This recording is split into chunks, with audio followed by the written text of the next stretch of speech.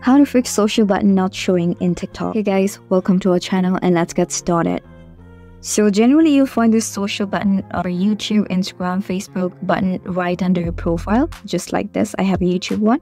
But if you're not being able to find this, then what you need to do is check whether your application is up to date or not.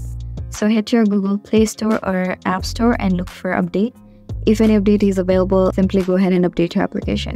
But if your application is up to date, then you need to report the problem.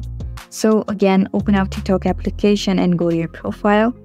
From your profile, tap on three horizontal lines at the upper right corner. And now from here, select Settings and Privacy. Now from the Settings and Privacy page, scroll down to the very bottom and under Support and Help, select Report a Problem option.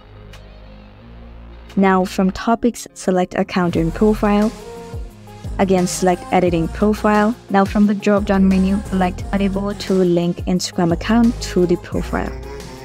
Select the no option and tap on need more help.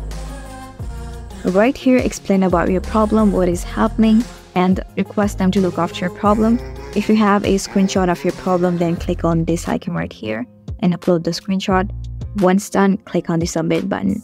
The Instagram Help Center would look after your problem, but you might have to wait at least 24 hours. So that's it. I really hope you found this video helpful and if you did, please make sure to hit the like button and subscribe to us for more great contents. Thanks for watching.